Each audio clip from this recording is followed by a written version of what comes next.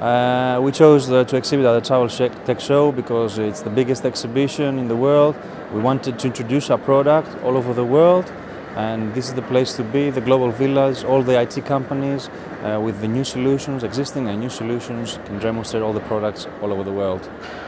Uh, great exposure and uh, you might get uh, one or two customers that can uh, offset completely the whole investment that the company can do.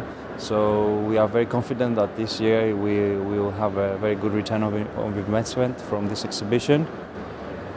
Um, the highlight is that uh, integration. You see a lot of companies that merge the products and there's integration between the products.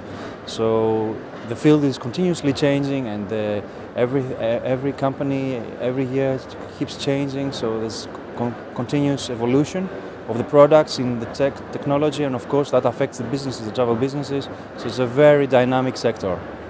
Uh, by exhibiting here, we had a great exposure to the world, uh, and that's what we were looking for. We were looking for customers all over the world, no matter the continent, uh, no matter the language, uh, because our product is uh, a global product.